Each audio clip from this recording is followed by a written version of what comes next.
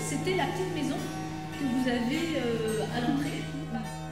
Actuellement, le maire d'Épinay-Champ-Latreuse, c'est Emmanuel Denoy, donc le fils d'Élie Denoy, qui a 35 ans, qui est maire depuis 2014, euh, qui a repris donc la commune et qui reprend petit à, à petit euh, l'exploitation du château, des terres, des forêts, etc.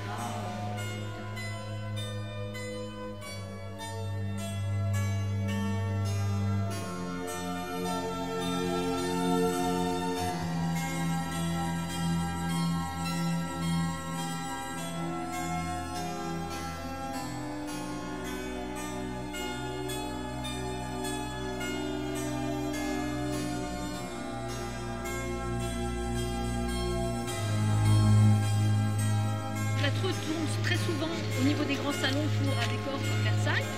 Euh, on a euh, au sous-sol des décors de prison euh, qui sont des décors de films. hein. Il n'y a jamais eu prison euh, à Champlatreux, mais ce sont des décors qui ont été montés au fur et à mesure des films et que l'on garde.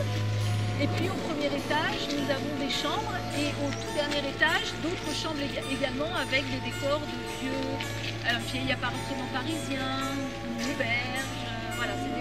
choses qu'on retrouve plus